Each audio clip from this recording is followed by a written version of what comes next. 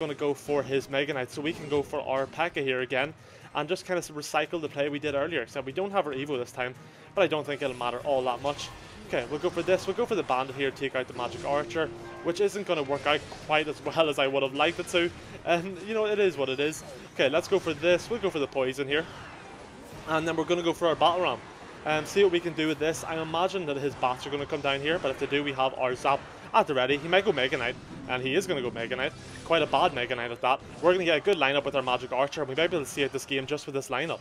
And let's go P.E.K.K.A here. No, we're not going to be able to see it out with the lineup alone, but his Magic Archer is going to get shut down. We'll go Bandit in the pocket. We'll go for the Zap to bats, and this should be game. not quite. He's going to hold on for now, um, and it's just going to be a matter of time. The P.E.K.K.A just got to steamroll through everything, and that is going to be game number three.